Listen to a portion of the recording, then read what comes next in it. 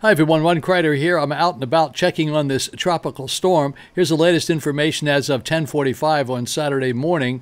Uh, peak winds are expected to be somewhere between 30 to 35 miles per hour, with gusts as much as 50 miles per hour. The track is still somewhat uncertain. I have a piece of video coming up here now from the National Hurricane Center to give you an idea what's going on. If you look at the little bit of yellow up there on the screen, you'll see that's kind of where we are, and that's a tropical storm watch that, that's in effect.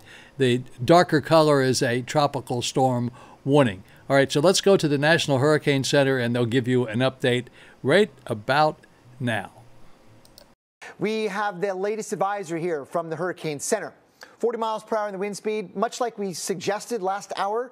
We were getting some observations in the Cayman Islands that did indeed suggest that uh, Eta is a tropical storm, 40 miles per hour. Moving, look at this, moving northeast at 17 miles per hour.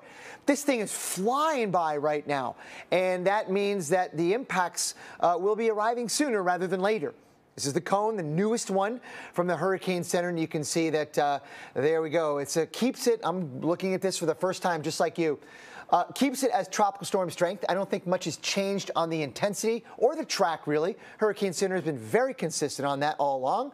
And uh, do expect the impacts to last a while. I mean, look at when it makes the curve, right? Uh, say Monday morning, it begins to turn toward the west across the Florida Keys or, or South Florida with impacts course outside of the cone, and then going northward, and maybe even not even by Thursday uh, into the northern Gulf Coast. Alrighty, folks, here's some video I shot earlier this morning from the Victoria here in Vero Beach at Indian River Shores. Just a reminder, we could have winds as high as 57 miles an hour.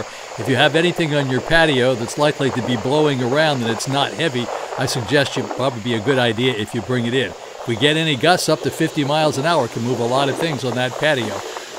As more information becomes available, I will bring it to you. Have a great day. Thanks for watching the video.